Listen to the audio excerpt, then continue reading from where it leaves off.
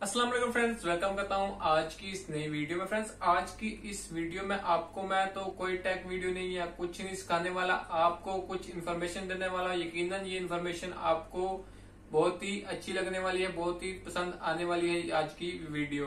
तो फ्रेंड्स, आज इस वीडियो में आपको मैं बताऊँगा कि यूएई में जो लोग रहते हैं, उनकी ईद की कितनी छुट्टियाँ होंगी और कब से स्टार्ट होने वाली है और ईद कब होगी। वीडियो की तरफ़ चलते हैं फ्रेंड्स, वीडियो की तरफ़ जाने से पहले जो बंदे न्यू है चैनल को सब्सक्राइब कर लें, साथ बेल आइकन को दबा दें, ताकि मजीद इस तरह की इन्फॉर्मेशन वाली वीडियोस भी आपको मिलती रहे।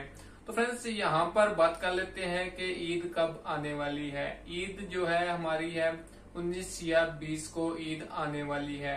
उसके साथ साथ ईद की छुट्टियाँ कब स्टार्ट होने वाली हैं? ईद की छुट्टियाँ भी हैं जो 19 तारीख को स्टार्ट होने वाली हैं।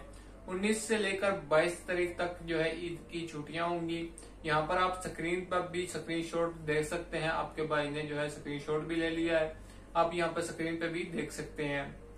तो फ्रेंड्स 19 से 22 तक ईद की छुट्टियाँ होंगी।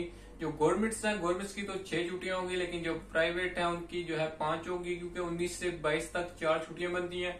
उसके बाद तेईस को जो है फ्राइडे आ जाता है तो उसके अंदर जो है पाँच छुट्टियाँ आ जाती हैं। तो कंफर्म नहीं है अभी, लेकिन यहाँ पर जो आप स्क्रीनशॉट में देख सकते हैं कंफर्म नहीं है। उन्होंने भी यही बोला है कि मे बी मतलब ये मुमकिन है कि पाँच छुट्टियाँ हों। तो देखते हैं, जब ईद आ जाएगी, तकरीबन पंद्रह बीस दिन रह गए हैं तो देख लेते हैं कि जब ईद आएगी तो पता चल जाएगा कि कितनी छुट्टियाँ चार हैं या पाँच हैं।